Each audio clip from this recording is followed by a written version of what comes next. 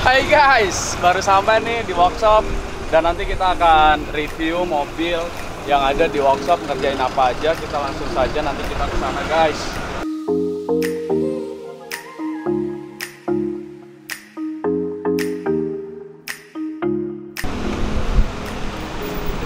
Dan hari ini gua sore nih datang ke workshop. Jadi di sini ada banyak sekali mobil. Tadi gua habis lihat CCTV dari rumah dan deretan depan juga penuh, deretan tengah penuh, deretan belakang juga penuh. Dan hari ini konsepnya gue mau bikin salah satu mobil Toyota Rush karena kan banyak sekali Toyota Rush. Itu hari ini ada tiga unit guys.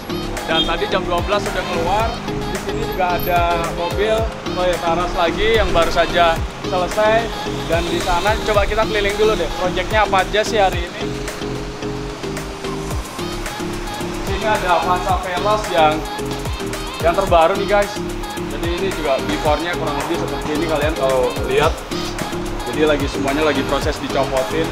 Range Rover belum selesai. Dan di sini ada X5 X5 juga udah selesai. Dan di sini ada R3 R3 ini R3 R3 juga nanti mau buat konten nih. Di situ belum dikerjain. Kalau sini udah selesai. Dan di sini nih guys. Ini rasnya. Ya lihat lihat lihat lihat dulu. Ras 2019 juga. Waduh gokil. Semuanya nanti kita akan ambil keseluruhannya. Yang satu udah keluar jadi ada tiga ras. Modelnya nanti kita lihat tapi jangan lupa di like comment subscribe dulu guys. Ini ada Toyota Alphard nih brodol semua nih kulitnya nih guys. Jadi kita harus dibagusin lagi nanti di tim produksi kita. Nah kita langsung aja melihat di situ ya. Wih, gokil guys ini banyak sekali ya permintaan nuansa warna merah dengan copot dulu lah. Dikira nanti nggak sopan lagi pakai kacamata terus. Di mana Toyota Rush ini kita langsung saja masuk di dalam. Jadi kalau kita lihat ini kayaknya menggunakan kulit microfiber.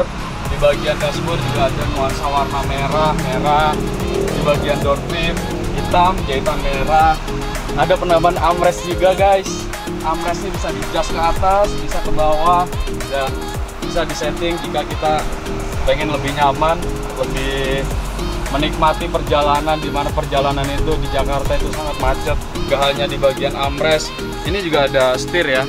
Setirnya juga menggunakan jahitan, jahitan manual. Kalau kita lihat ini menggunakan kulit microfiber juga, ya kurang lebih udah komplit semua. Dan mobil ini udah finish tinggal kayaknya tinggal kalau kita lihat ini di sini tinggal ngebersih bersihin aja dikit-dikit lagi. Lihat keseluruhannya dulu nanti kita langsung saja ke sana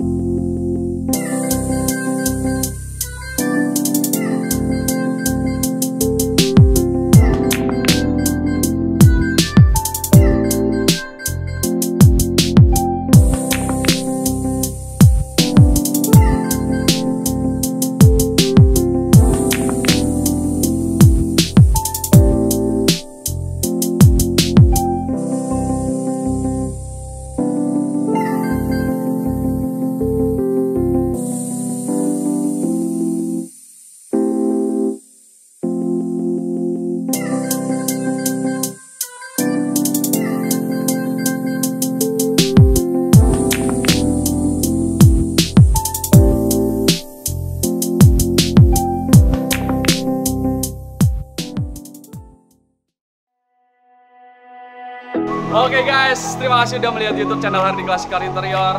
Jangan lupa di like, comment, dan subscribe. Sampai jumpa di video selanjutnya.